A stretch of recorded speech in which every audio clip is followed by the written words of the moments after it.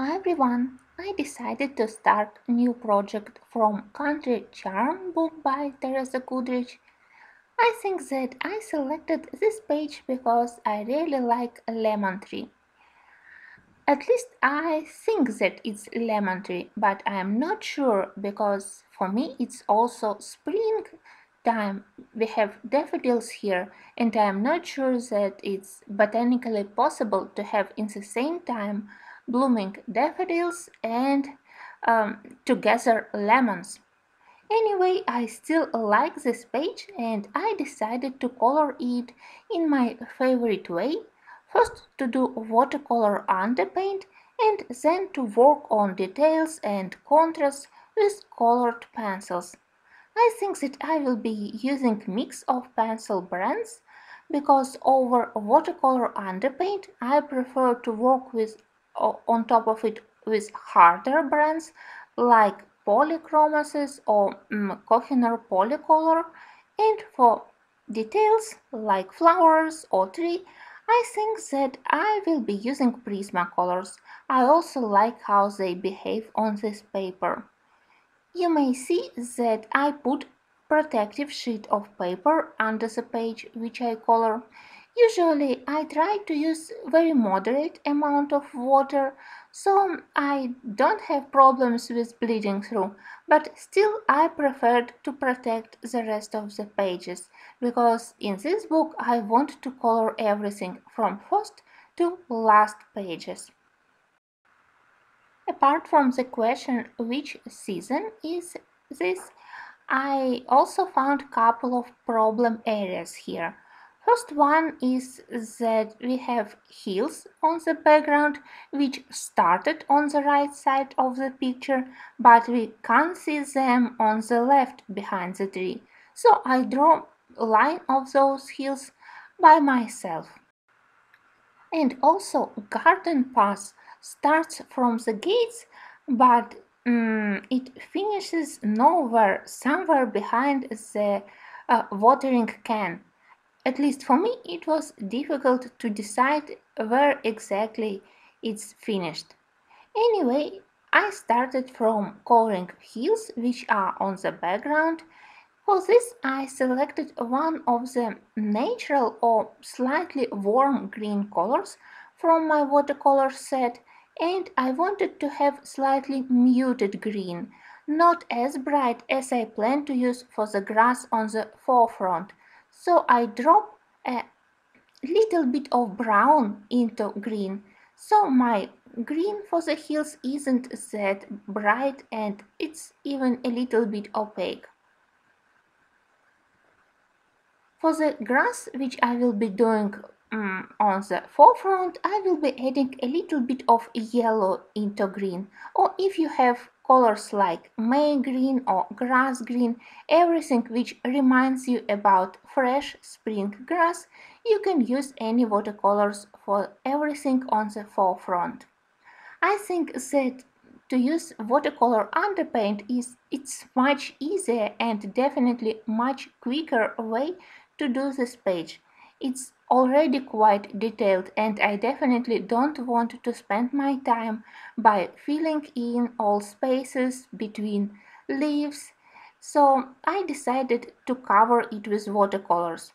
When I apply watercolors, I don't bother about accidentally going over leaves or over tree trunk. I know that later I will be able to cover these areas with my colored pencils.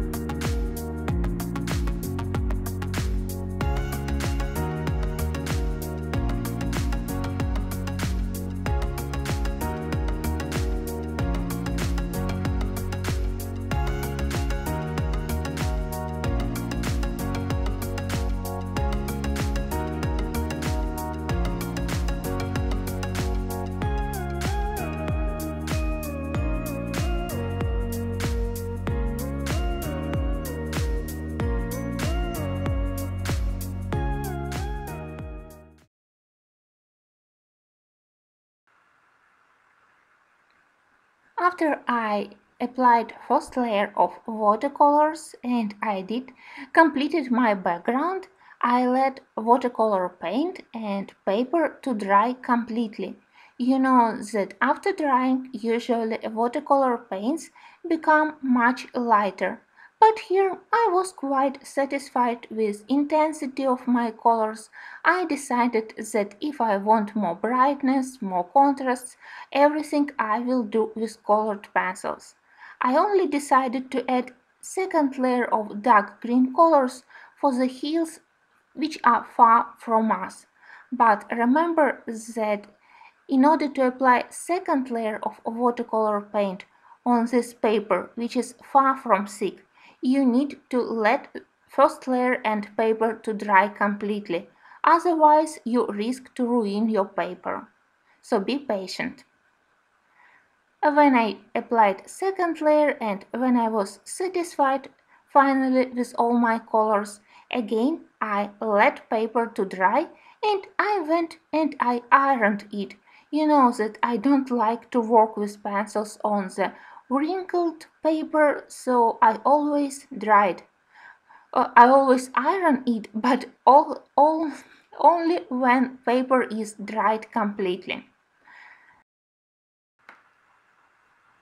First I decided to color tree trunk and when I selected colors for the bark I decided to go from burnt ochre to chocolate and if I need for darker colors I can use uh, dark amber or one of polychromos colors but when I started to color I completely forget that on this page we have sunlight, we have source of light indicated by the sun which we have in the sky. When I did my watercolor background, I noticed that sun, but then I waited, I went to iron it page, I got distracted. You know how it is when during self-isolation we have family around. So I completely forgot that the light source is in the right upper corner and I started to do the whole coloring as if the light source is on the left. Later, when I noticed this, I had to cover to mask sun in the sky and to convert it in some kind of cloud. I am sorry, but again I was distracted and I completely forgot it. Anyway, when I color bark of the tree, first I apply lightest color to show more highlighted areas on the tree trunk and then on the areas where branches are connected or where leaves are casting shadow on the tree trunk, there I put darker colors like chocolate and I also love to add shading using Polychromos Dark Sepia. So today you will be seeing this pencil very often.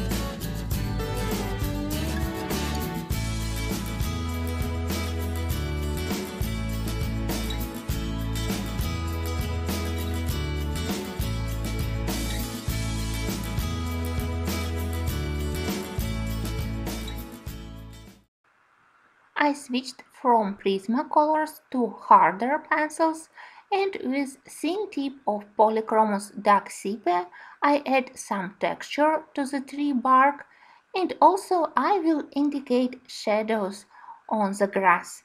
And that was the moment where I put all the shadows in the wrong directions. You know that shadows have to go in the direction opposite to the source of light and I put them all to the right.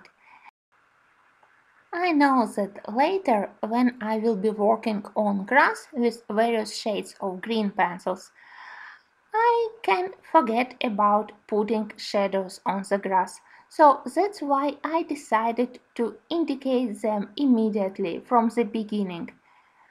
I use very light pressure and from each of, of the objects like tree, like um, boots, like mm, small flowers, like garden tools, from everything I put shadows which are going to the right.